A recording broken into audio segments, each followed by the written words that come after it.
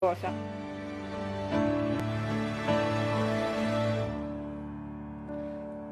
E con queste due mani unite introduciamo Giorgia Meloni che si è commossa, mi pare, mentre vedeva questo, questo film. Speravo che non me ne foste accorti, No, no, non ero accorti. inquadrata. Beh, Vabbè, insomma è comunque. anche bello commuoversi, insomma bello, prima di sì. tornare alle durezze, alle durezze della politica.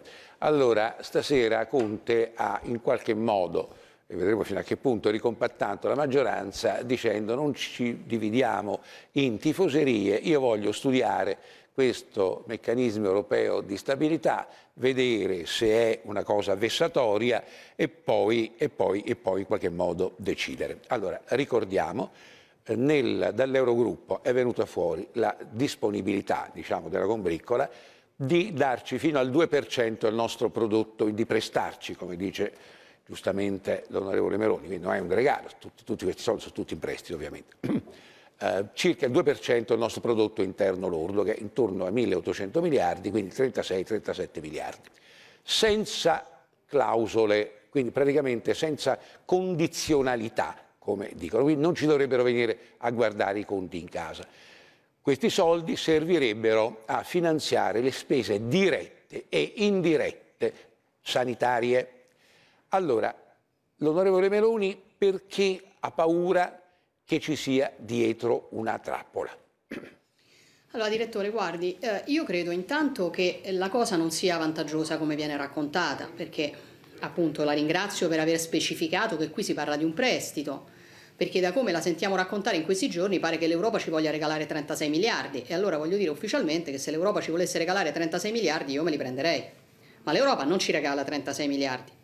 L'Europa ci dà un prestito da 36 miliardi sul quale noi ovviamente pagheremo degli interessi. Ora, per intenderci, però, noi ci abbiamo messo i soldi nel MES. Quindi, per spiegarla ai cittadini che ci guardano a casa, è come se io andassi in banca, dessi alla banca 15.000 euro e la banca in cambio mi desse 36.000 euro che io devo restituire tutti e 36.000 con gli interessi. Quindi alla fine gliene ho dati 15 più 36.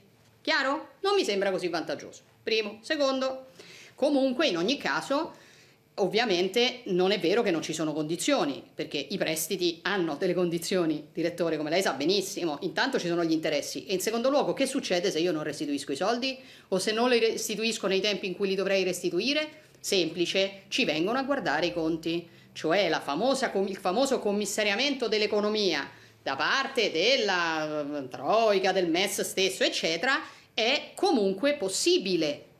Terzo, io continuo a ritenere che al di là della linea di finanziamento a condizioni leggere, il fatto di avere il fondo salva stati tra le possibilità per accedere eh, per affrontare l'emergenza coronavirus in assenza di strumenti per noi vantaggiosi come ad esempio, ad esempio gli eurobond è comunque un modo di stringere il cappio intorno al nostro collo. Perché se noi abbiamo il MES e non abbiamo gli eurobond che succede se ad esempio domani non lo so, avessimo dei problemi con gli spread o la Banca Centrale Europea dovesse improvvisamente decidere di non fare più una politica monetaria espansiva, quindi di non comprare più i titoli di Stato, accadrebbe che noi avremmo solamente la possibilità del fondo salva stati con condizionalità. Quindi io dico che, che il documento sottoscritto, eh, diciamo sul quale Gualtieri ha dato l'ok e che Conte si trova davanti al Consiglio europeo, è un documento assolutamente non vantaggioso per l'Italia. Conte, dal mio punto di vista, non dovrebbe firmare nulla che non prevedesse A. gli eurobond e B. un ruolo completamente diverso per la Banca Centrale Europea che si deve comportare come si stanno comportando tutte le banche centrali del mondo. Allora, Io però, per correttezza, dobbiamo, per correttezza dobbiamo ricordare che Gualtieri, che è stato ospite nostro ieri sera, non ha firmato niente, insomma. Lui dato è dell'ala... è l'u- è l'unica diciamo, parola che- sulla quale effettivamente abbiamo detto una cosa inesatta. Eh. Ha dato il suo ok. Poi io non so come l'Eurogruppo decida di dare il suo ok sui, sui documenti, ma c'è l'ok del ministro Gualtieri e del governo italiano sulla bozza che esce dall'Eurogruppo e che arriva al Consiglio europeo che Conte può chiaramente disconoscere ed è quello che ci aspettiamo che faccia dopo le conferenze stampa che ha fatto. Devo dirle che mi dispiace molto che oggi sulla richiesta di Fratelli d'Italia, eh, eh, che- che- che- sulla quale Conte abbiamo chiesto che Conte venisse in Parlamento prima di andare al Consiglio europeo, come solitamente accade, attaccandosi sostanzialmente al principio secondo il quale questo Consiglio europeo non sarebbe formale, Conte decide di non accettare un voto parlamentare. Mentre accettare un voto parlamentare su questa materia, secondo me, sarebbe stato un fatto di chiarezza, dottor Vespa. Intanto ognuno si assume le proprie responsabilità. E poi avrebbe rafforzato il ruolo di Conte al Consiglio europeo, perché guardi, una cosa voglio dire, solamente una, della conferenza stampa di Conte la settimana scorsa, il resto l'abbiamo già detto. Non è vero che noi abbiamo indebolito l'Italia in questa trattativa. È proprio grazie al lavoro che stiamo facendo noi anche accendendo i riflettori e mettendo allerta l'opinione pubblica, che Conte può con maggiore forza andare al Consiglio europeo a rivendicare quello di cui l'Italia ha bisogno. Quindi noi non abbiamo indebolito la posizione italiana, questo non lo faremo mai, noi l'abbiamo rafforzata. Ora bisogna capire se Conte è in, se Conte è in grado di utilizzare questo strumento che gli abbiamo offerto. Onorevole Meloni, ma quale forza avrebbe avuto il Presidente del Consiglio se su questo tema una, due componenti del governo, e cioè il, il, Movimento 5 Stelle e dall'altro lato il Partito Democratico la pensano in maniera, in maniera opposta. Appunto, Qui, gli abbiamo dato eh, una appunto, mano dall'opposizione. Eh, le pare che sarebbe andato a farsi, votare, a farsi, votare, una cosa di questo Però genere. Conte non dovrebbe fare le conferenze stampa contro di noi per nascondere le difficoltà nella sua maggioranza, perché noi stiamo tentando di dargli una mano, questo sto dicendo. Stasera lui ha detto adesso mi guardo le carte. Allora, eh, Antonio Polito, vice direttore del Corriere della Sera. Buonasera Antonio. Allora, qui Buonasera. ci troviamo adesso stasera Franceschini subito si è affrettato a dire la posizione di Conte è giusta, il Movimento 5 Stelle noi stiamo con Conte, quindi non è successo niente, sono tutti d'accordo sul fatto che Conte studia e poi decide. Però allo Stato c'è il Movimento 5 Stelle insieme con la Lega e con Fratelli d'Italia. Dall'altro lato c'è il Partito Democratico, c'è Italia Viva di Renzi e c'è Silvio Berlusconi. Che sta succedendo? E c'è la Confindustria. E c'è la Confindustria. Beh, sono completamente saltati, come era forse prevedibile, tutte eh, le divisioni politiche tradizionali e credo che ne vedremo ancora delle belle, perché la vicenda politica, quando finirà l'emergenza sanitaria, sarà, sarà molto attiva. Ecco. Eh, intanto bisogna dire una cosa, che Conte stasera ha detto una cosa molto nuova, eh, rispetto alle posizioni che ha avuto fino ad ora e che erano paradossalmente più vicine alle, ai desiderata dell'onorevole Meloni, perché finora Conte aveva detto non li useremo, li abbiamo approvati soltanto perché c'è qualcun altro che li vuole usare, tipo gli spagnoli, i portoghesi, che sono con noi nella battaglia sugli Eurobond e quindi non abbiamo ostacoli, ma abbiamo detto noi non li usiamo. Invece stasera ha detto vediamo, vediamo come esce dalla, alla fine della, della trattativa questo, questo contratto, questo, queste condizioni del finanziamento e poi decideremo, il che è chiaramente una mano tesa al PD, il quale nelle ultime ore aveva eh, insieme a Berlusconi, come giustamente hai notato te, eh, insistito per dire ma perché dobbiamo rifiutare 36 miliardi che certo prendiamo a prestito, onorevole Meloni, però tutti li prenderemo a prestito, anche se non li prendiamo da lì, li dobbiamo prendere sui mercati e sui mercati potrebbero costarci, anzi sicuramente ci costerebbero un po' potremmo riprendere, eh?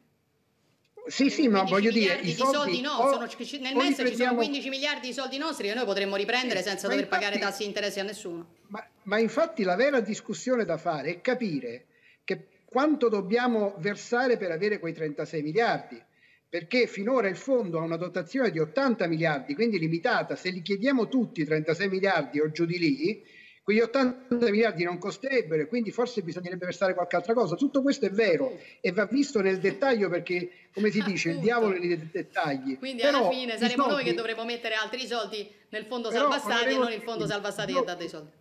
Non so, o si prendono con le tasse, credo che nessuno li, li, voglia prendere con le tasse, o si prendono in prestito e ce ne serviranno ben più di 36 miliardi. Quindi è bene che cominciamo a ragionare su dove ci conviene prenderli.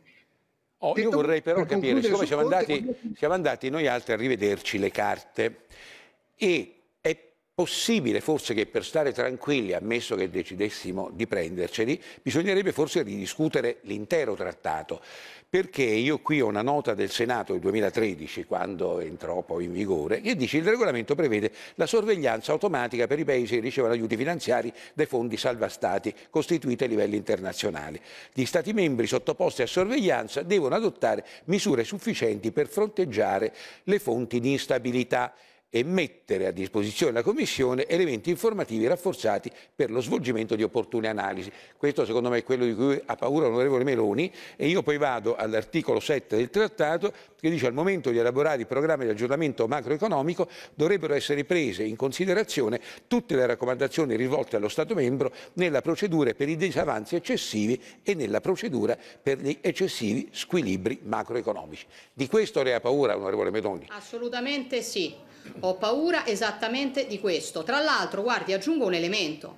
Stasera, in questa sua nuova posizione, perché il Presidente Conte ci pareva che sapesse esattamente di che cosa parlava quando ha fatto la conferenza stampa il venerdì scorso, rispondendo alle nostre presunte menzogne, oggi dice, me lo devo leggere, vi faccio sapere che ne pensa, e, e, che ne penso, e nel dirlo dice, vedremo alla fine se ci sono o non ci sono delle condizionalità. E questo, scusi Vespa, è una cosa ancora diversa da quella della quale noi stiamo parlando adesso, perché noi in tutti questi giorni abbiamo parlato di una presunta nuova linea di finanziamento appunto eh, con condizionalità leggere, dico io, perché come dicevamo le condizionalità ci sono sempre, e invece oggi Conte dice una, ancora un'altra cosa, quindi mi pare che si stia facendo un po' un gioco delle tre carte, ok? Però noi dobbiamo sapere che, diciamo, a livello eh, europeo, storicamente, ci sono delle nazioni che hanno avuto dei vantaggi dall'Unione Europea e segnatamente dall'euro, che vogliono rafforzare in questa fase, o così sembrano essersi comportate,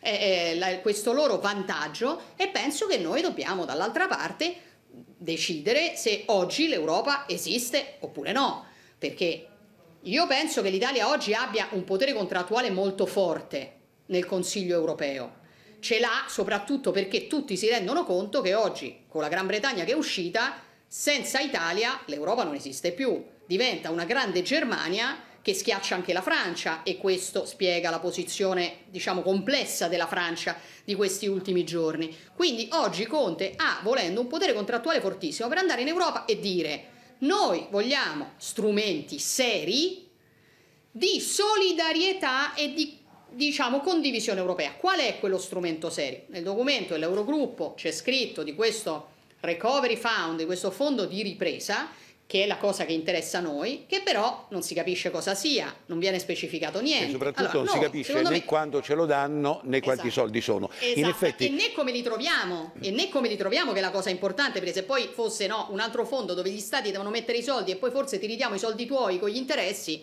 io avrei qualcosa da dire. Se invece ci fossero gli eurobond a finanziare un fondo del genere, io penso che serva un uh, fondo di uh, ripresa da uh, mille miliardi, serio, finanziato con gli eurobond. E penso che questo debba andarlo a chiedere Conte. Così Infatti... come dicevo, credo che Conte debba andare a chiedere un ruolo completamente diverso per la Banca Centrale Europea, perché segnalo che in tutto il mondo le banche centrali in questo momento stanno stampando soldi, comprando titoli di Stato illimitatamente. Guardiamo la Bank of England, non andiamo lontano. Banco, Bank of England stampa moneta, compra eh, titoli di Stato illimitati e ha aperto addirittura una linea di credito diretta con il Tesoro, cioè dà direttamente i soldi allo Stato. Noi invece abbiamo una Banca Centrale Europea che per volontà dei tedeschi e dei suoi eh, e dei loro diciamo, eh, stati eh, satellite eh, serve solamente a tenere sotto controllo l'inflazione della moneta e noi questa roba qui in questo momento non ce la possiamo più permettere. Per allora. cui dobbiamo chiedere che la BCE faccia quello che sta facendo Banco of England. E non è una concessione perché Vespa noi deteniamo il 14% della Banca Centrale Europea.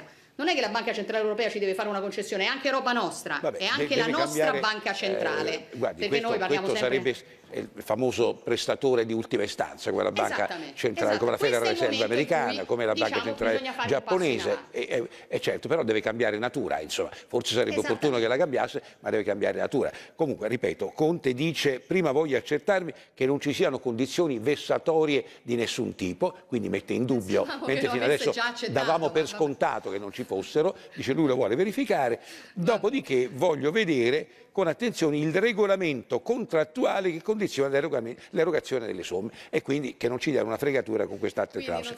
A proposito di prestiti, di una parentesi per favore, molte persone avevano capito che i 25.000 euro agli artigiani, ai professionisti, alle partite IVA fossero una cosa più o meno automatica Eh, in realtà qualcuno è andato in banca e ha avuto una cattiva sorpresa. Non sono 25 mila euro, è il 25% del fatturato dello scorso anno fino a 25 mila euro. Quindi 25 mila euro li può prendere solo chi ha fatturato almeno 100 mila euro. No, questo perché tutti quanti erano convinti di prendersi i 25. Se uno ha fatturato 50 mila euro, se ne prende la metà, se prende 12 mila euro e 500 che poi dovrà appunto restituire però lì in effetti quindi stiamo attenti che non è proprio tutta questa erogazione. Bisogna aver raggiunto un minimo di, di, di, un minimo di fatturato per, per, avere, per avere questa somma. Allora andiamo a vedere adesso quanto ci sta costando in tanti settori questa, questa lunga eh, inattività. Per esempio Orio al Serio, siamo andati a Orio al Serio, l'aeroporto diciamo di Bergamo, di Bergamo, il terzo, scalo, il terzo scalo italiano, che è fermo, che ci portava turisti da tutto il mondo, è andato a vedere Giacarlo Rondinelli. Pochi luoghi parlano del dramma che stiamo vivendo come un aeroporto vuoto. Eh, questo fermo macchine che immortala aerei, delle gru, degli scavi nella posizione dove tutto è rimasto un mese fa. L'aeroporto di Orio al Serio, chiuso dal 12 marzo, è avvolto dal silenzio. Il terzo scalo italiano, dopo Fiumicino e Malpensa, per numero di passeggeri e carico di merci, è l'azienda più importante di Bergamo.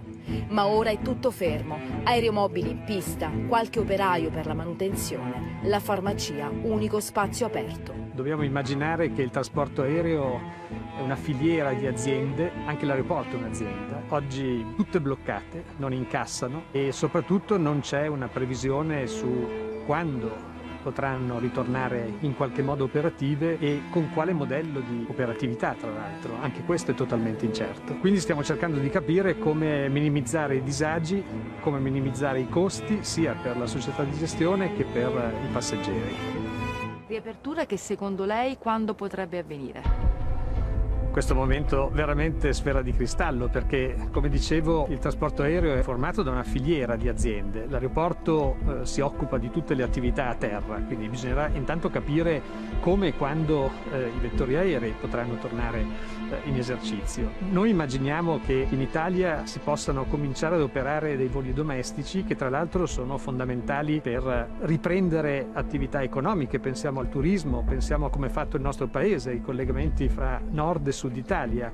Abbiamo bisogno di indicazioni eh, dagli esperti sanitari su quali saranno le cose da fare per garantire la sicurezza. Cantieri in un aeroporto ce ne sono sempre. Stiamo verificando quali di questi cantieri ancora sono ascrivibili a questa nuova normalità che ci aspettiamo e quali dovranno essere ripensati. Onorevole Meloni, eh, la Regione Lombardia chiede di poter fare le riaperture dal 4 di maggio. Il Veneto già si è portato avanti, alcune regioni del sud, visto che non hanno contagi, addirittura la Basilicata vuole eh, riaprire subito le spiagge. Secondo lei, ecco, se lei fosse al governo, sulle riaperture come si regolerebbe?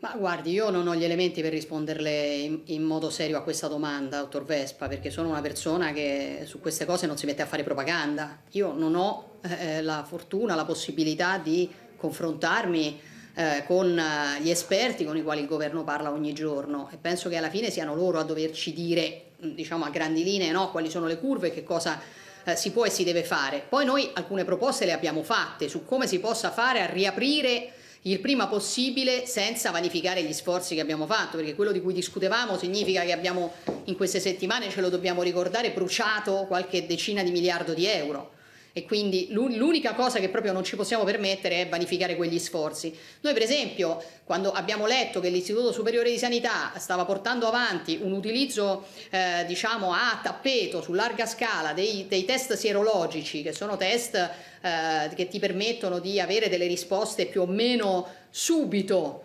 eh, che, che, ti possono dare subito una patente di immunità, abbiamo presentato gli emendamenti e delle proposte per testare a tappeto tutta la popolazione, perché è ovvio che se già tiri fuori tutte le persone che hanno eh, eh, maturato gli anticorpi e che sono diventati immuni, intanto quelle persone sono tutte persone che tu immediatamente puoi rimettere a lavorare e comunque ti consente di isolare eventuali focolai, di individuare dove siano, però io così posso dire che bisogna muoverci. Poi eh, le dico la, la, cosa più banale del mondo, bisogna riaprire il prima possibile, senza però vanificare gli sforzi e qui gli elementi io non li ho e quando si ha, riapre, secondo me non bisogna farlo discriminando alcune categorie. Ho letto, ma non so se siano reali, delle eh, ipotesi di riapertura per cui alcuni esercizi riaprono prima, alcuni esercizi riaprono dopo. Attenzione perché ci sono intere filiere che noi rischiamo di distruggere. Eh, per esempio ho letto che mentre appunto molti riaprono, hanno, qualcuno ha già riaperto, altri riaprono il 3 maggio, magari allora le palestre piuttosto che i parrucchieri, piuttosto che i centri estetici vanno a giugno.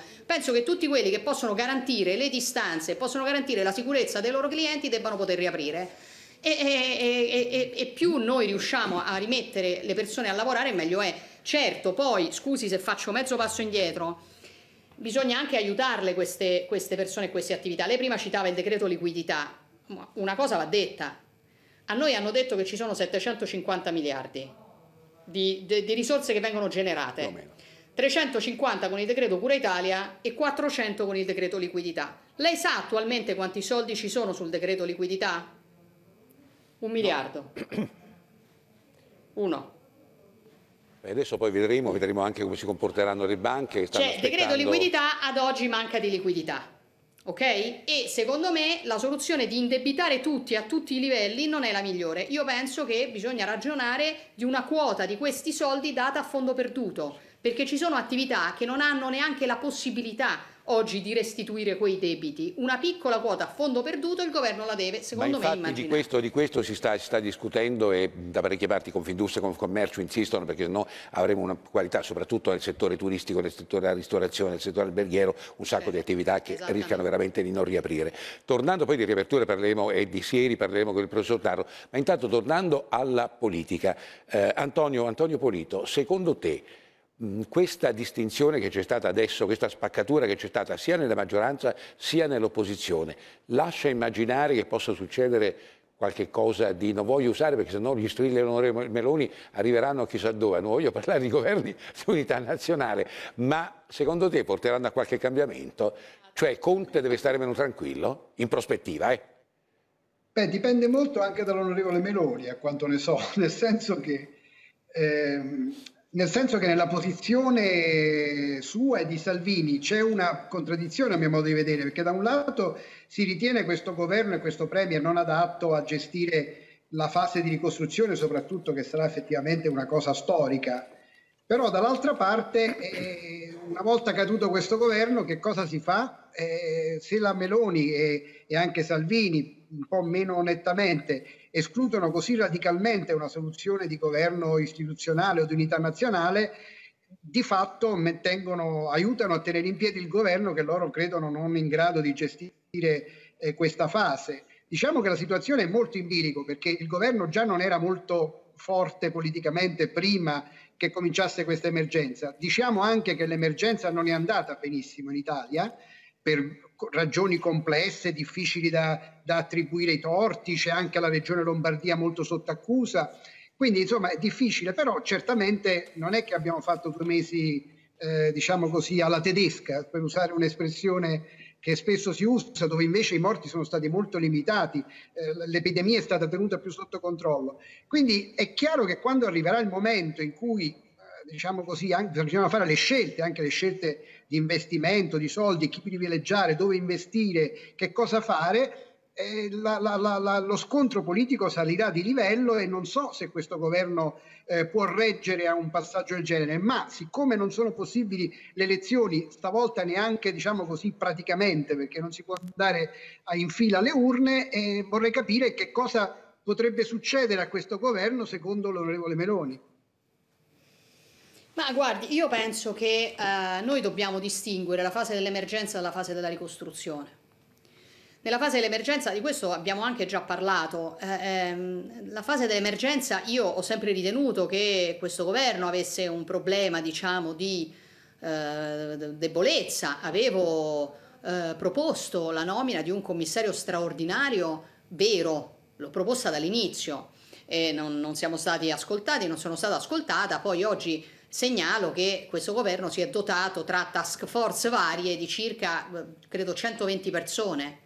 Parlamento lavora una volta a settimana, mille persone pagate profumatamente agli italiani per fare poco o niente. In compenso abbiamo altre 120 persone che coadiuvano il governo. Sono molto incuriosita da questa task force capitanata da Colau perché non mi è chiaro anche quella esattamente che cosa parliamo o eh, per carità di un'altra 20 persone che ogni tanto ascoltiamo che però chiaramente possono avere eh, purtroppo insomma un, un ruolo eh, non particolarmente significativo oppure, oppure no, qualcuno vagheggia che possa essere altro e allora eh, vorrei capire di che parliamo perché già io non ero convinta diciamo di un presidente del consiglio eh, diciamo, coniglio dal cilindro, ma adesso l'ammaestratore del coniglio del cilindro mi pare che veramente no, cioè la democrazia stia, si stia un po' perdendo. Allora, nella fase dell'emergenza io credo che la soluzione fosse nominare un commissario vero all'emergenza. La fase della ricostruzione però, signori, non è una cosa di pochi mesi, è una cosa di anni.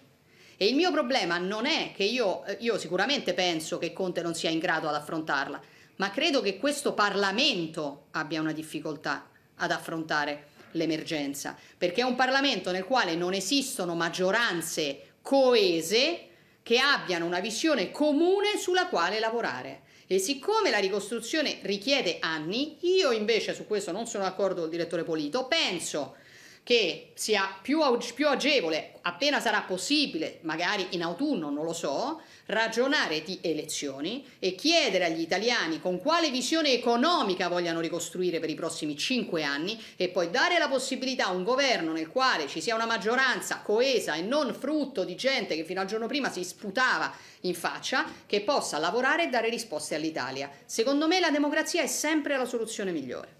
Grazie onorevole Meloni e buon lavoro. E andiamo adesso dal professor Tari.